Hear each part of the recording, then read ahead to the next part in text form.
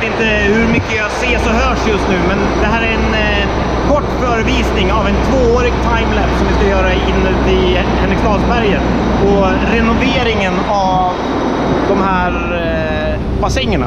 Och om jag inte missminner mig helt så är det 14 stycken sådana här bassänger som ska få toppmoderna membranfilter. Och för att dokumentera det arbetet så har vi satt upp den här sötnosen. Jag ska bara justera lampan lite grann här. Det här är alltså då en, en timelapse-låda. Och den är gjord för att kunna överleva allt från eh, stenar som ramlar från taket, eh, fukt, damm och ja, allt man kan tänka sig i en industriell miljö.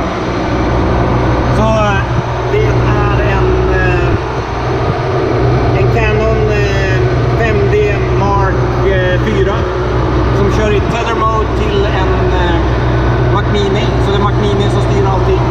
Eh, boxen här är ju liksom hermetiskt tillsluten. Så att den är så tillsluten så vi var tvungna att försöka få eh, lite ventilation.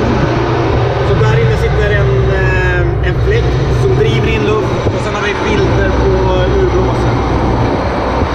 Eh, glaset här är eh, speciellt UV-glas som eh, ska minimalt med reflektioner. Vi har satt ett tyg på insidan runt linsen där för att motverka bakreflektioner i glaset kanten lutar så att förhoppningsvis ska damm inte fastna lika lätt. Men det hjälper ju inte så mycket när de eh, kör sprutbetong över hela stället. Så det kommer vara en utmaning. Eh, tjejen som har byggt boxen har förstärkt allting med metall. Taket är i plåt, eh, fogarna är eh, först med fogskum, sen med silikon ovanpå det. Och sen som ni ser, dubbla rader isolering.